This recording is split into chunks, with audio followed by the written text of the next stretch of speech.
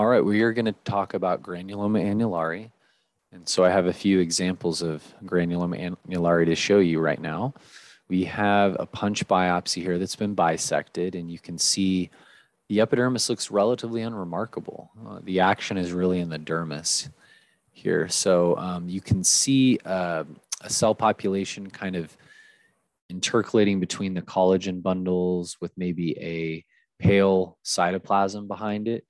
As you go in higher power, you'll notice within the center of these um, histiocytes, there's some areas that are a little bit less cellular, and it's composed mostly of collagen um, with maybe a bluish material deposited in between the collagen. So we have a histiocytic population that's kind of palisading around.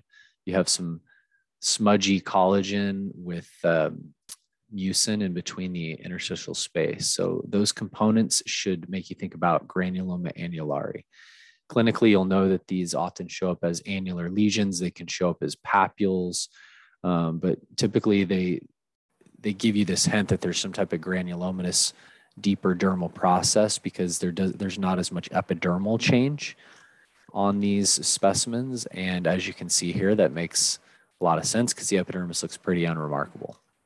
So it's a good example of granuloma annulare. Um, GA, if superficially biopsied, is going to be really difficult to diagnose. So always get a really nice punch biopsy.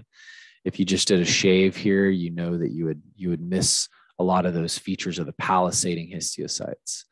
On the other section here, it looks a little bit more of a nodular aggregate of the histiocytes, but um, you can have interstitial pattern of granuloma annulare, and sometimes you'll get a mix of both interstitial and palisading in the same biopsy.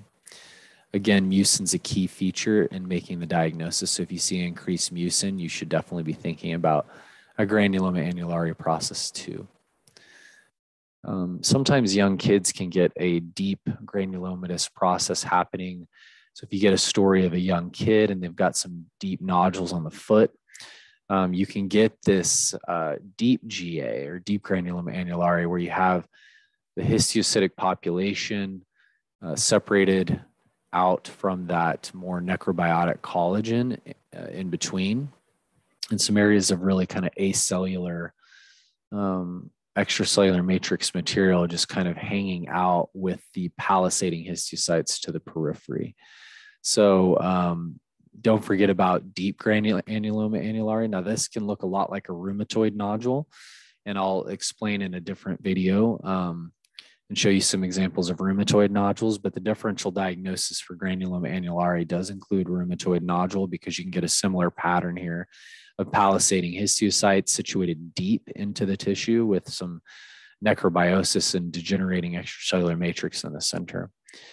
Um, it's important to remember the differential diagnosis is anything that looks like this. Um, you should include an epithelioid sarcoma um, because epithelioid sarcomas can actually look like a deep granuloma annulare or a rheumatoid nodule. So it's important to just make sure that the cells are actually looking pretty bland and they're not representative of a malignant keratinocytic population that way you would find in an epithelioid sarcoma.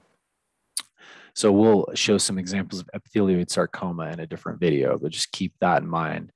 You don't want to miss that as well, because that's a highly testable entity. Um, another example of GA, this one was signed out as an interstitial granuloma annulare because you, you see more of a homogeneous separation of the histiocytic population in and amongst collagen bundles.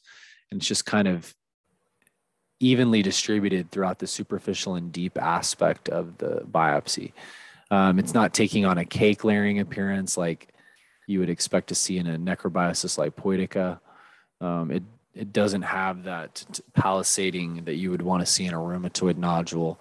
Um, often these interstitial GAs don't have a lot of extra mucin in them. Um, they're just kind of more of interstitial distribution of these clear cell, clear cytoplasm populations, which are histiocytes. Um, if you if you weren't entirely entirely sure you'd want to stain this, if there was a concern for like a metastatic breast cancer, you definitely want to stain these and prove that they're histiocytes and not some malignant um, uh, population from a breast cancer. Um, so you'd want to do maybe a keratin stain or something. If you had this on the chest of a breast cancer patient, you might want to do a GATA3, um, some other ER, PR markers just to rule out that, uh, rule out a metastatic breast cancer. But this is, um, this is just interstitial GA.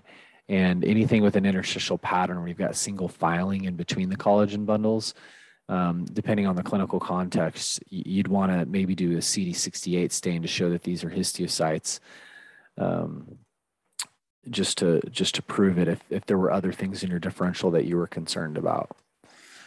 And last but not least, a very subtle example of granuloma annulare. So you can see it's mostly superficial here. You've the histiocyte population is kind of spread out, um, but you can see this rough palisading um, but the key here is there's a lot of mucin and there's a lot of histiocytes, and there are some areas of acellular smudgy necrobiotic collagen.